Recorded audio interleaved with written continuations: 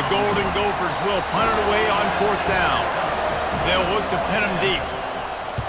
Gets his first one of the day off. He was called on four times in last week's win. Now on the return.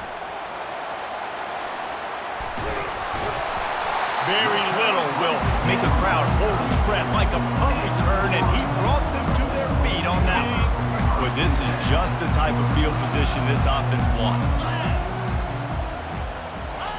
Trying to find his man on first down. On the move, he fires. He caught it, and he will score! Touchdown, Florida State! That touchdown grabbed the 25th of his career. Not surprising either. When you've got this guy's ability at that position, quarterbacks are going to be looking for you. 25 touchdown catches, that's an impressive figure.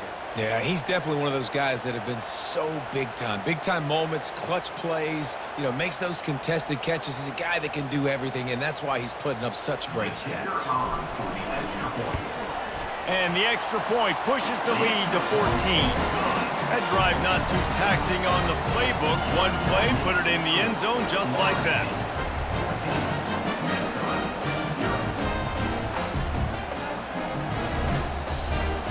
Lining up to cover the kick after.